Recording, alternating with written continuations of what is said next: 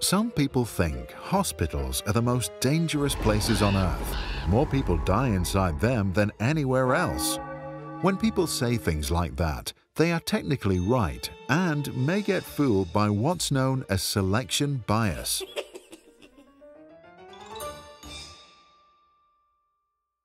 A selection bias occurs when we look at information that is not fully representative of the data intended to be studied. As a result of the biased sample, we then draw a false conclusion. One story that explains the bias perhaps better than any other is that of Abraham Wald. Wald was a brilliant mathematician who, after the Nazis persecuted him and his family as Jews in Austria, fled to the United States in 1938. During World War II, Wald was invited to become a member of the Statistical Research Group, an elite think tank to aid the American war effort against Nazi Germany.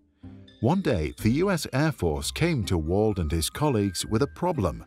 Many of their planes got shot down due to a lack of armor. The officers presented Wald with data for all the aircraft that made it back from their mission.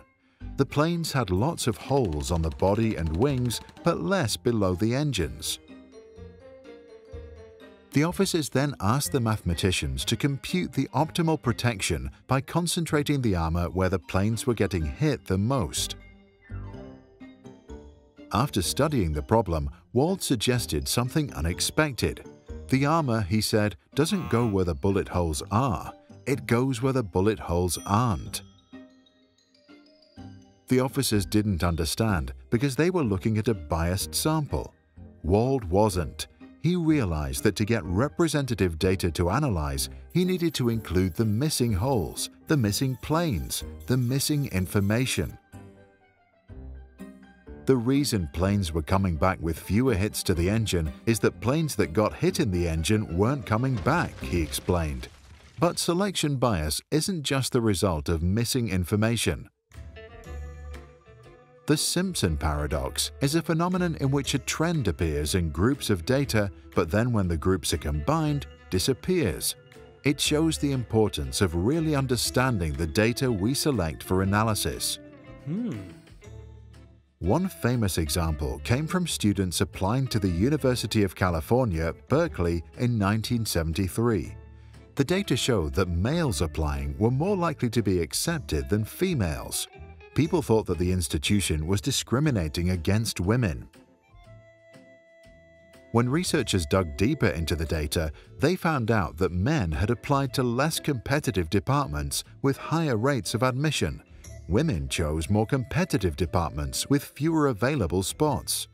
After correcting for this detail, the data showed a significant bias in favor of women, not men. Planes that were shot in the engines were not analyzed. Women in Berkeley weren't discriminated against, but instead picked more competitive classes. People that die in hospitals are often already sick when they are admitted. What are your thoughts? Is selection bias corrupting your decision making? And if it's fooling you, how about the people behind the research you see being published in popular media? Did they really make sure they selected an unbiased, fully representative sample? Share your thoughts in the comments below. And if you still don't quite understand it, here is a simple challenge to experience it firsthand. Go out of your house, knock at the doors of your next 10 neighbors, and ask those who open if they are afraid of strangers.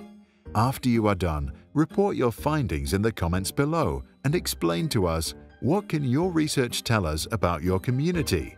Anything?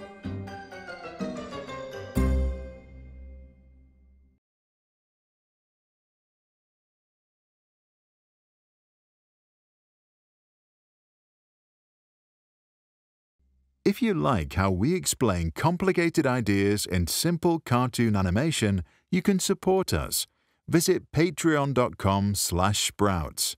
Just visit us, learn how it works and what's in it for you. We hope to see you there. And if you are a parent or educator, check out our website, sproutsschools.com. There you can find this and other video lessons, additional resources, and classroom activities.